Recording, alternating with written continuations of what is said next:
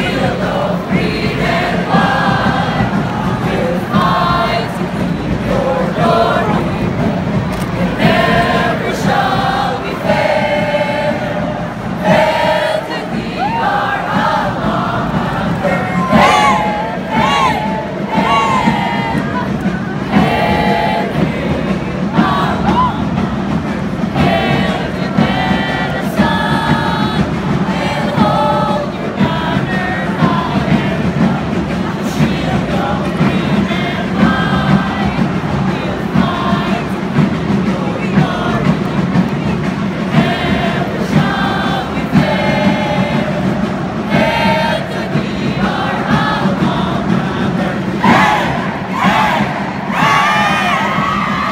And yes, once again, and just a little reminder, this time for the blue side, you will have, Ateneo will have a Thanksgiving Mass, 8.30 p.m. at the Church of the Gesù.